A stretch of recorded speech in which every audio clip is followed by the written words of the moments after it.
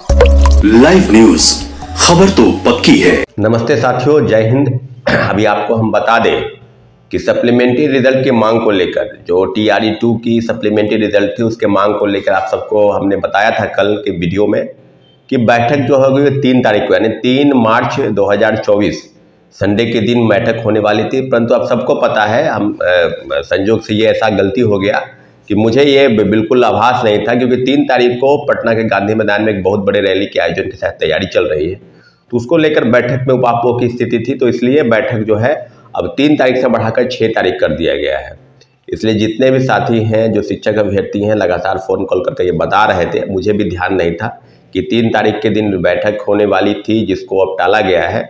तो आप सबको बता दें कि सप्लीमेंट्री रिज़ल्ट की मांग जो हमारी थी जिसको लेकर शिक्षा विभाग ने सूची भेजी थी, चौदह हज़ार सात सौ पदों पर। यह सिर्फ़ मल्टीपल रिज़ल्ट की बात है, साथियों। आप सबको पता है कि बीपीएससी चेयरमैन जो अब अवकाश ग्रहण कर लिए हैं श्री अतुल प्रसाद जी, उन्होंने स्पष्ट कहा था कि जो सप्लीमेंट्री रिज़ल्ट की हम तैयारी कर रहे हैं, और 25 अक्टूबर के ट्वीट के बाद उन्होंने यह स्पष्ट किया था कि सप्लीमेंट्री रिज़ल्ट देंगे। ये टी वन की बात है। Multiple result drop out student और फर्जी फर्जीवाड़े ये तीनों का डाटा जो है वो बताए थे और सैंतालीस सौ शिक्षा विभाग जो सूची भेजी थी टी आर वन में, मात्र सत्ताईस सौ तिहत्तर लोगों का रिज़ल्ट आया था। तो शिक्षा विभाग और बीपीएससी ने जो चीज़ें की है, अब आपके सामने है, कहने की ज़रूरत नहीं कि क्या क्या हुआ है। और एसीएस शिक्षा विभाग के प्रमुख सचिव के के पाठक भी अब एक सेंट्रल डिप्रेशन में यानी केंद्रीय प्रतिनियुक्ति पर जा रहा है, इसकी भी चिट्ठी जो है वायरल हो रही है। तो कौन कहाँ जाएगा, क्या करेगा, इस बात पर अब हम लोगों को नहीं रहना है, लेकिन इतना ज़रूर है। कि शिक्षा विभाग में जो हो रहा था और जिस तरह की चीज़ें तुगलकी फरमान जारी की जा रही थी, के के पाठक द्वारा, अब के के पाठक मुख्यमंत्री जी की जो सवासी जो क्रेडिट मिला, कि शिक्षक बहाली हुई, तीन महीने में दो लाख शिक्षकों की बहाली का क्रेडिट कौन लेगा? तो इसका सारा श्रेय तो के के पाठक को जा रहा था।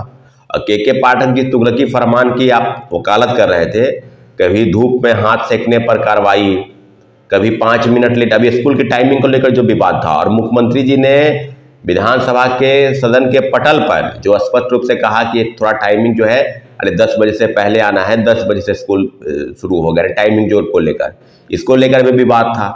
यानी मुख्यमंत्री जी की बातों की ही अवहेलना हुई तो आप समझ लीजिए कि कोई अधिकारी कितना पावरफुल हो सकता है। यहाँ तक कि शिक्षा मंत्री की बात को तो खैर छोड़िए। जब राजद कोटे के मंत्री प्रोफेसर चंद्रशेखर की बात को अवहेलना हुआ, प्रोफेसर चंद्रशेखर तो कुछ थे ही नहीं उनके सामने। मुझे ऐसा लगा कि ऐसे अधिकारियों की मिली भगत और ऐसे अधिकारियों के कारनामे से शिक्षा मंत्री को हटाया जाएगा गया और फिर वो दोबारा आ- स्थापित हुए।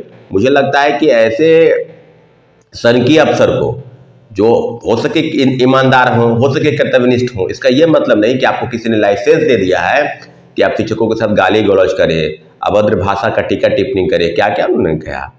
तो सदन के पटल पर दोनों सत्ता पक्ष हो विपक्ष हो तमाम नेता जो है, तमाम विधायक इस बात की पुष्टि कर रहे थे कि के के पाठक इस पद पर नहीं रह सकते हैं। के के पाठक शिक्षा विभाग के अपर मुख्य सचिव है, ईमानदार है, ये अलग बात है। लेकिन उनके रहते हुए भी तो हम लोग तो काफ़ी आरोप लगा रहे हैं। पहले से कह रहे हैं कि टी आर वन से लेकर टी आर टू तक जो बड़े पैमाने में फर्जीवाड़ा हुआ CTET fail S T T fail और कई फर्जी वाले डोमिसाइल फर्जी बनाकर कई कई कई जगहों से शिकायत आ रहे थे कि दिव्यांगता जो विकलांग प्रमाण पत्र वो फर्जी बनाकर लोग बहाल हो गए। और जिला शिक्षा पदाधिकारी डीपीओ और डीपीएम के स्तर से जो पैसे लेकर नियुक्त किए गए तो आप, अगर आपने हटाया लोगों को, कार्रवाई भी आप कर रहे हैं तो उसके जगह पर पूरक परिणाम जारी होने चाहिए। तो पूरक परिणाम जारी नहीं हुआ। टी आर वन से लेकर टी आर टू तक लगातार डिमांड कर रहे थे। आप सबको पता है कि टी आर में सब लोगों को आपने मौका दिया।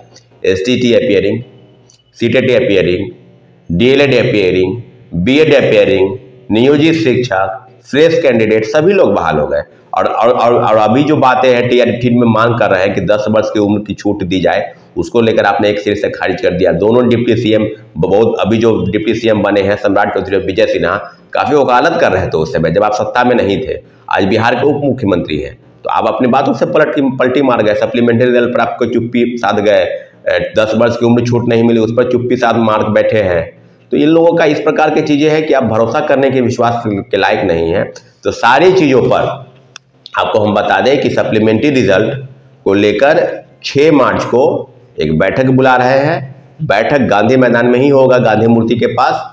और जो चीज़ें अब सामने होगी, उसके बिल्कुल अब आमने सामने की बातें होगी। इसलिए कोर्ट जाने की तैयारी में सभी अभ्यर्थी रहे। जितने भी शिक्षक अभ्यर्थी हैं, जो चौदह हज़ार सात सौ पदों पर जिनका एक नंबर, दो नंबर, पाँच नंबर, वहाँ मार्क्स कोई बैरियर नहीं है। सारे लोग अपना डॉक्यूमेंट लेकर छः मार्च के दिन आएँगे और आगे की जो रणनीति होगी, किस प्रकार से क्या होगा, नहीं होगा, हम लोग सब लोग मिल बैठ कर बात करेंगे। लेकिन इतना ज़रूर है कि जो पूरक परिणाम जारी नहीं हुए, उसके लिए एनडीए सरकार दोषी है, उसके लिए महागठबंधन सरकार दोषी थी और आज जिस प्रकार की चीज़ें हो रही है, जो मुख्य बिंदु है, उस पर सरकार का ध्यान आकृष्ट नहीं कराना है। उल जलूल सवाल, कभी स्कूल के टाइमिंग को लेकर विवाद हो रहा है कभी हिंदू पर्व त्यौहार में जो छुट्टी की कटौती की गई, उसको लेकर विवाद था। कभी बोरा बोरी बेचने को लेकर विवाद है। तो के के पाठक इन्हीं सारे विवादों को लेकर उलझे रहते हैं, शिक्षा विभाग उलझा रहता है और जो मुख्य बिंदु है, जिस पर काम करना चाहिए सप्लीमेंट्री रिज़ल्ट से लेकर टी आर वन से लेकर सक्षमता परीक्षा, ये किस प्रकार का, बिना शर्त राजकर्मी का दर्जा देना था, आपने परीक्षा भी ली और परीक्षा में इस तरह के प्रश्न पूछे जा रहे हैं। कोई व्यक्ति अगर संस्कृत पढ़ा रहा है, कोई व्यक्ति हिंदी पढ़ा रहा है कोई व्यक्ति सिर्फ़ साइंस पढ़ा रहा है और प्रश्न तो पूछे जा रहे हैं, सभी विषयों से मिलाकर। तो बीपीएससी से भी हार्ड प्रश्न कई लोग का कहना है। मेरा ऐसा मानना है कि जो लोग पठन पाठन में अगर संलग्न हैं, अगर पढ़ रहे हैं तो उनके लिए परीक्षा कोई बहुत बड़ा चीज़ नहीं है। लेकिन जो लोग पंद्रह साल, बीस साल, पच्चीस साल से पढ़ा रहे हैं और एक एक वन टू फाइव के बच्चों को पढ़ाते हैं, उनकी परीक्षा बीपीएससी ले रहे हैं और बीपीएससी की परीक्षा के पैटर्न पर ले रहे हैं तो सारी चीज़ें अब बिल्कुल है कि सरकार जो कहती है वो कर नहीं रही है। जो करना चाहिए उस पर पीछे हट रही है। इसलिए हम लोग प्रतिबद्ध हैं, शिक्षक अभ्यर्थियों के साथ उन सारे मुद्दों को लेकर हम 6 मार्च 2024 को बैठक बुला रहे हैं। सभी शिक्षक अभ्यर्थियों को सप्लीमेंट्री रिज़ल्ट के मांग को लेकर उस बैठक में आना है साथियों। ठीक है, धन्यवाद। जय हिंद, जय भारत। लाइव न्यूज़ खबर तो पक्की है।